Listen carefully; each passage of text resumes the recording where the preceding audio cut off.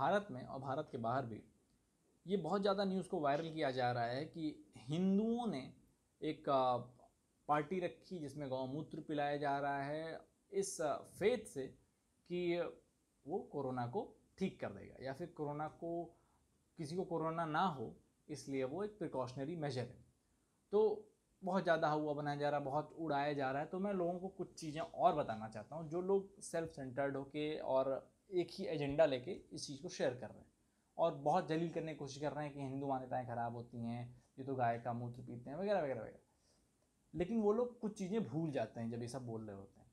खैर, मैं भी मानता हूँ कि बिना किसी चीज़ को साइंटिफिकली प्रूव किए कि हाँ भाई इसके क्या रिपोर्कशन हो सकते हैं, इसके क्या मतलब इफ़ेक्ट हो सकता है साइड इफ़ेक्ट क्या हो सकता है, आपको साइंटिफिकली जाँच करानी चाहिए। क्या पता वही आपको नुकसान कर दे खैर, वो वो मुद्दा अलग है, लेकिन जो मेन मुद्दा है, जो लोगों ने अपना डबल स्टैंडर्ड दिखाया, उसकी बात करनी है आज। इस्लामिक कंट्रीज़ में ये हरकतें होती हैं कि ऊँट का यूरिन पिया जाता है। और इस बार ऊँट का यूरिन इसलिए पिया गया कि कोरोना वायरस से वो बचे रहें। और यहाँ साफ़ साफ़ आपको आर्टिकल में दिख भी रहा होगा।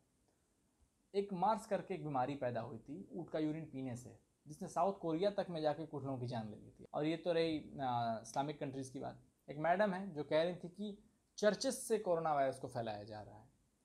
एक टेलीविज़न पे एक एंकर है वेस्ट का, जो टेलीविज़न से ही लोगों को क्योर कर रहा है, हील कर रहा है। अपने पता नहीं कौन सी टेक्निक है, क्या है, क्या नहीं है। कई ऐसी चीज़ें हो रही देश दुनिया में, आपको स्क्रीनशॉट दिख रहा होगा, आप पढ़ सकते हैं, जिसके बारे में भी बात होनी चाहिए।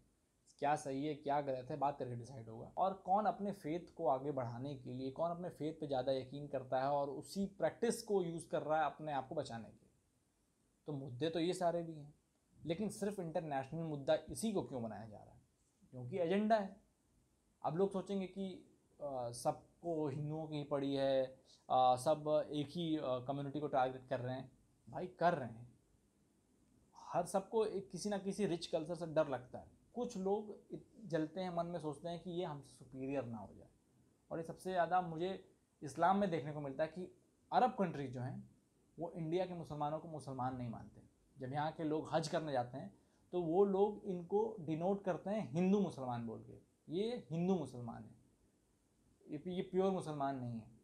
वो यहाँ के मुसलमानों को भी प्योर नहीं मानते वो आ, पाकिस्तान के मुसलमान को भी प्योर नहीं मानते। उनके पास अपनी डेफिनेशन है कि अरब का ही मुसलमान प्योर होगा। लेकिन इस पाखंड से कोई चश्मा हटाने वाला नहीं है। सबको एक चीज़ के पीछे पड़ना है और अपने आप को ही सही साबित करना है।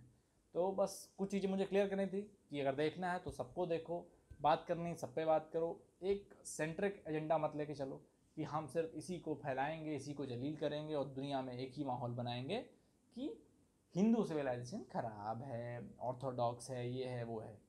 लेकिन जब तय तक जाओगे तो पता चलेगा कि जो मानवता की शुरुआत है वो यहीं से हुई थी। अब लोग सोचेंगे, तुम भी अपने ही उसकी तारीफ़ कर रहे हो। मैं इंडिया की बात कर रहा हूँ, मैं हिंदुज़म की बात नहीं कर रहा हूँ। खैर, आपका क्या मानना है इन सब चीज़ों पे? क्या आपको ये सब बातें पता थी जो ये सब स्प्रेड हो रही हैं?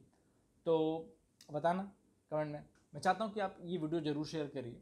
ये वीडियो शेयर बिल्कुल होनी चाहिए इसलिए कि लोगों का वो पाखंड एक्सपोज हो कि सिर्फ़ एक मुद्दे पे तुम जो बात कर रहे हो, जो एक चीज़ के बारे में बात कर रहे हो, देखो कि तुम क्या करते हो।